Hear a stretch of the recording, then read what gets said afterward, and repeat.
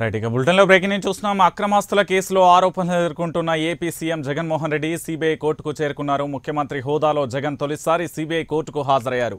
గత ఏడాది మార్చి ఒకటిన చివరిసారి జగన్ న్యాయస్థానంలో హాజరయ్యారు. ఆ తర్వాత ఎన్నికలు రావడం గెలిచి సీఎం కావడంతో అప్పటి నుంచి ప్రతి వారం వ్యక్తిగత హాజరు మినహాయింపు కోరుతూ వస్తున్నారు. అయితే పదే పదే కోర్టుకు గైహాజరు కావడంపై సిబిఐ న్యాయమూర్తి బీఆర్ మధుసూదన్ రావు గత వారం తీవ్ర అసహనం వ్యక్తం చేశారు. తదుపరి విచారణను CM Jagan YCP MP Vijayasaireddy తప్పనిసరిగా హాజరై తీరాలని సిబిఐ కోర్టు ఆదేశాలు జారీ చేసింది. ఇప్పటికే వైసీపీ ఎంపీ విజయసాయిరెడ్డి ఐఏఎస్ అధికారిని శ్రీలక్ష్మి మాజీ ఐఏఎస్ అధికారి Samuel Dharmana Prasad CBI court ముందు హాజరయ్యారు.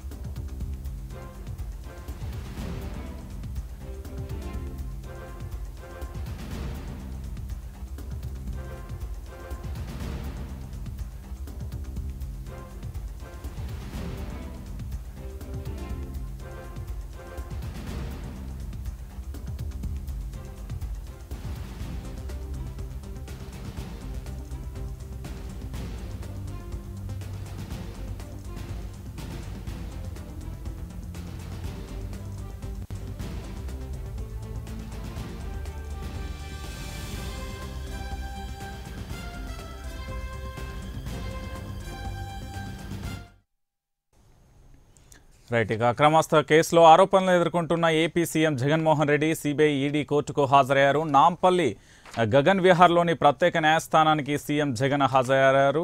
గన్నవరం నుంచి ప్రత్యేక విమానంలో బేగంపేట విమానాశ్రయానికి చేరుకున్న సీఎం నేరుగా నాంపల్లిలో కోర్టుకు చేరుకున్నారు. ఈ కేసులో నిందితులుగా ఉన్న ధర్మాన ప్రసాదరావు విజయసాయిరెడ్డి ఐఏఎస్ అధికారిని శ్రీలక్ష్మి పారిశ్రామికవేత్త హిందూ శ్యామ్ ప్రసాద్ రెడ్డి విశ్రాంత ఐఏఎస్ శ్యాముల్ ఇతరులు కూడా విచారణకు హాజరయ్యారు. ఎనిమిదేళ్ళుగా అక్రమస్తుల కేసు విచారణ జరుగుతుంది. అయితే ముఖ్యమంత్రి హోదాలో జగన్ సిబిఐ కోర్టుకు హాజరు కావడం ఇదే తొలిసారి.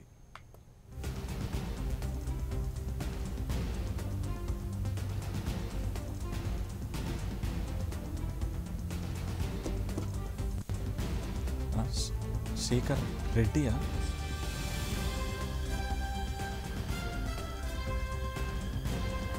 అందరు నన్ను తిరుగుతారు మొత్తం మీరు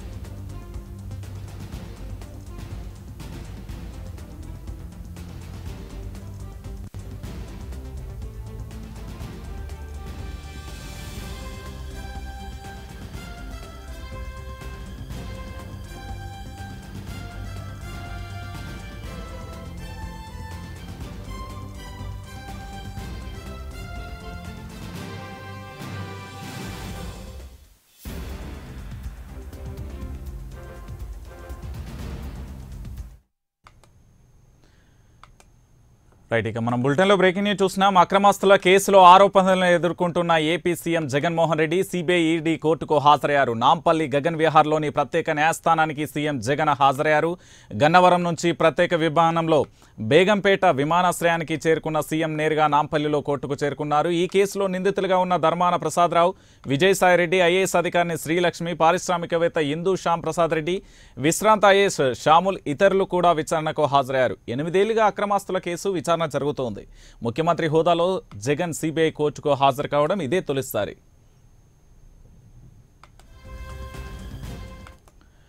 రైట్ ఇక అక్రమస్తుల కేసులో ఆరోపణలు ఎదుర్కొంటున్న ఏపీ సీఎం జగన్మోహన్ రెడ్డి మొత్తానికైతే నాంపల్లి కోర్టు సిబిఐ ఈడీ న్యాయస్థానాల ముందు హాజరయ్యారు. ఇక ఇదే అంశానికి సంబంధించి మరింత సమాచారం మా ఏపీ బ్యూరో చీఫ్ సుబ్బారావు అందిస్తారు. సుబ్బారావు. Thank you Ranjith. రాష్ట్ర ముఖ్యమంత్రిగా జగన్మోహన్ రెడ్డి ప్రమాణ స్వీకారం చేసి దాదాపుగా ఏడున్నర నెలలు కావస్తూ ఉంది. ఈ ఏడున్నర నెలల పాటు కూడా ఏదైతే తన ఆయన ఉన్నటువంటి సిబిఐ కేసులు ఉన్నాయో ఆరోపణలు సిబిఐ కేసులు ఆ సిబిఐ కేసులో ప్రతి శుక్రవారం కూడా విచారణ జరుగుతూ ఉంటుంది. రాష్ట్ర ముఖ్యమంత్రిగా ఉన్నటువంటి నేపథ్యంలో ప్రభుత్వ అధికారిక బాధ్యతలు ఏవైతే ఉన్నాయో వాటన్నిటి కూడా నిర్వహించేందుకు తనకు వెసులుబాటు కావాలి న్యాయస్థానం ఏదైతే ప్రతి శుక్రవారం కేసులకి నేను కూడా హాజరు కాలేనని చెప్పేసి రాష్ట్ర ముఖ్యమంత్రి హోదాలో జగన్మోహన్ రెడ్డి సిబిఐకి పిటిషన్ పెట్టుకోవడం జరిగింది. ఇప్పటివరకు కూడా సిబిఐ న్యాయస్థానం కూడా ఆ, ముఖ్యమంత్రిగా జగన్మోహన్ రెడ్డి యొక్క పిటిషన్ గౌరవిస్తూ ఆమోదిస్తూ వచ్చిన పరిస్థితి. అయితే గత వారం గత శుక్రవారం జరిగినటువంటి పిటిషన్ విషయంలో న్యాయస్థానం స్పష్టంగా చెప్పేసింది. రాష్ట్ర ముఖ్యమంత్రి అయినప్పటికీ కూడా ఈ విధంగా దాదాపుగా ఏడు నెలల నుంచి విచారణకు హాజరు కాకపోవడం అనేది న్యాయపరమైనటువంటి అంశంగా తీసుకుంటే కనుక ఖచ్చితంగా అది అది మంచి పద్ధతి కాదు. ఖచ్చితంగా ఈ నెల పదవ తేదీన ఏదైతే శుక్రవారం విచారణ జరుగుతూ ఉందో ఈ విచారణకు హాజరు కావాల్సిందని చెప్పేసి మన రాష్ట్ర ముఖ్యమంత్రికి జగన్మోహన్ రెడ్డికి హైకోర్టు మన సిబిఐ కోర్టు స్పష్టంగా ఉత్తర్వులు జారీ చేసింది. దీంతో ఈరోజు ఆయన విజయవాడ గన్నవరం విమానాశ్రయం నుంచి ప్రత్యేక విమానం ద్వారా హైదరాబాద్ చేరుకుని అక్కడి నుంచి ఆయన సిబిఐ కోర్టు నాంపల్ ఉన్నటువంటి గగన్ హాల్ ఉన్నటువంటి కోర్టుకు హాజరయ్యారు. ముఖ్యమంత్రి హోదాలో ఫస్ట్ టైం ఇదే మా సిబిఐ కోర్టుకి కేసు హాజరు కావడం అనేది దానితో పాటుగా ఆయన సహచర నిందితులుగా ఉన్నటువంటి విజయసాయి రెడ్డి ధర్మాన్ ప్రసాదరావు అదేవిధంగా ఐఏఎస్ ఆఫీసర్ ఆఫీసర్లు శ్రీలక్ష్మి శామ్యుల్ వీళ్ళు కూడా మొత్తం కూడా హాజరయ్యే పరిస్థితుంది. గతంలో ప్రతి శుక్రవారం కూడా జగన్మోహన్ రెడ్డి సిబిఐ కోర్టుకు హాజరయ్యేవాళ్ళు. ఆ సమయంలో ప్రతిపక్ష నేతగా ఉన్నటువంటి నేపథ్యం ఉంది. దాదాపుగా సిబిఐ కోర్టులో మొత్తం పదహారు కేసులు పైగా ఉన్నటువంటి పరిస్థితి ఉంది. కాంగ్రెస్ పార్టీ అధికారంలో ఉన్నప్పుడు తన తండ్రి రాజశేఖర రెడ్డి ముఖ్యమంత్రిగా ఉన్నప్పుడు అధికారాన్ని దుర్వినియోగం చేసి మనీ లాండరింగ్ అదేవిధంగా మిగిలినటువంటి అనేకమైనటువంటి ఆరోపణల నేపథ్యంలో సూట్ కేసు కంపెనీలు పెట్టడం ద్వారా జగన్మోహన్ రెడ్డి క్విడ్ ప్రోకో సిస్టంలో లక్షల కోట్ల రూపాయలు దండుకున్నారు. అవినీతి పాల్పడనేటువంటి ఫిర్యాదులు ఉన్నాయి. ఆ ఫిర్యాదుల నేపథ్యంలో ఆ నాటి కాంగ్రెస్ నాయకుడు చేసేటటువంటి ఫిర్యాదు మేరకు కూడా సిబిఐ కేసులు నమోదు చేసింది. అవన్నీ కూడా జరుగుతూ ఉన్నాయి. ప్రస్తుతం సిబిఐ కేసులు కూడా డే టు డే విచారణ కూడా వచ్చినటువంటి పరిస్థితి కనిపిస్తూ ఉంది. ఈ నేపథ్యంలో విచారణకు పూర్తిగా ఎవరైతే నిందితులు ఉన్నారో వారందరూ కూడా సహకరించాలని కూడా సిబిఐ కోర్టు న్యాయస్థానం కూడా స్పష్టం చేసిన పరిస్థితి ఉంది. ఎందుకంటే విచారణ వేగవంతంగా జరగాలంటే కనుక ఎవరైతే నిందితులుగా ఉన్నారో వారు పూర్తిగా కూడా కోర్టుకు హాజరు కావాల్సిన పరిస్థితి ఉంది. దీంతో ఇక ముఖ్యమంత్రిగా ఉన్నప్పుడు కూడా ఏమాత్రం కూడా కుదరదు. ఖచ్చితంగా కోర్టుకు రావాలని చెప్పడంతో ఈ రోజున ముఖ్యమంత్రి జగన్మోహన్ రెడ్డి సిబిఐ కేసులో నిందితుడిగా కూడా ఒక న్యాయస్థానం ఎదుట హాజరయ్యాలని చెప్పుకోవచ్చు రంజిత్. అయితే మనం మొత్తంగా చూస్తున్నాం సుబ్బారావు ఈ కేసుకు సంబంధించి ఏదైతే గత ఏడాది మార్చి ఒకటో తేదీన హాజరు కావడం మళ్ళీ హాజరు కాకపోవడం అయితే ఏదైతే న్యాయస్థానం న్యాయాధికారి మాత్రం న్యాయవాది మాత్రం అసహనం వ్యక్తం చేసిన పరిస్థితులు అయితే చూస్తున్నాం. తదుపరి విచారణ ఏ విధంగా ఉండబోతుంది?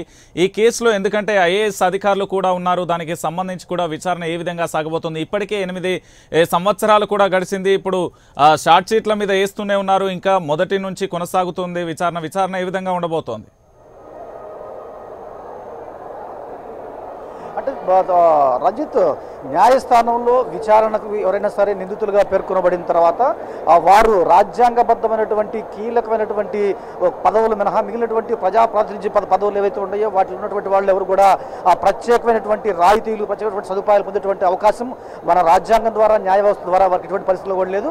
కాకుంటే ఒక ప్రజాప్రతినిధిగా ఒక రాష్ట్రానికి ముఖ్యమంత్రి ఉన్నటువంటి నేపథ్యంలో జగన్మోహన్ రెడ్డి ప్రతి శుక్రవారం కూడా ఏదో ఒక భారీ కార్యక్రమం నిర్వహించడం ఆ కార్యక్రమం మూలాన ఆ కార్యక్రమ నిర్వహణ కోసం ప్రజా సంక్షేమం కోసం నేను కోర్టుకు హాజరు కాలేకపోతున్నానని ఆ, తన న్యాయవాదుల ద్వారా ఆయన పిటిషన్ వేయడం జరుగుతుంది.